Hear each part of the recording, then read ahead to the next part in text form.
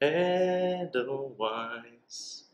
Every morning you greet me, small and white. Shut up and just review your beer lah!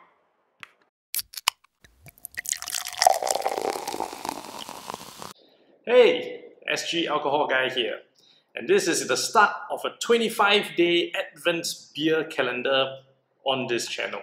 So from today, 1st of December, all the way to 25th of December, I will be reviewing one beer per day. And I'm starting it with the Edelweiss wheat beer, premium wheat beer, with a hint of mountain herbs. I chose this beer because one of the comments in an earlier video was a request for the Edelweiss wheat beer, so this is for you. And as usual, I will be making use of my wines and spirits certification to give an honest review of all the alcohols that I am reviewing. So, for the Edelweiss, it is a herbs flavored wheat beer um, with 4.9% alcohol and it is a product of Austria. Okay, this is a 330 ml can and I got this um, at $11.50 for four cans. So roughly works out to just under $2.90 per can. Taste test. Now as usual, I like to pour my beers so that the foam appears in the glass. This way it doesn't fill up in my stomach, which allows me to have a couple more beers. And if this beer is any good, you know, I'm willing to bet you I will have at least two cans tonight. And immediately, I can tell you that I can detect a very strong scent of bananas. Cheers.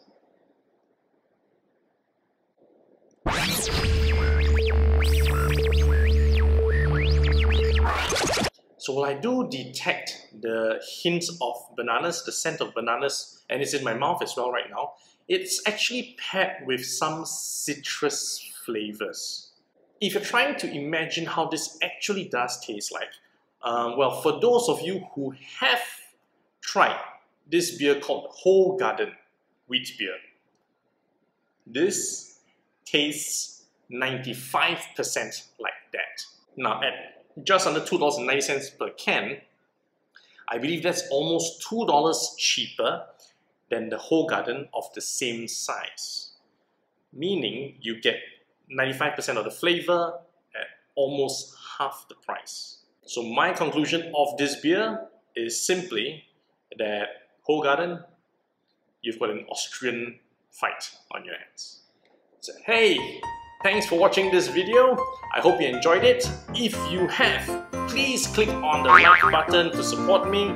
Please subscribe to my channel because I have 24 more videos in the next 24 days. Right, and of course, leave me a comment. Let me know what you think about Edelweiss. Happy drinking!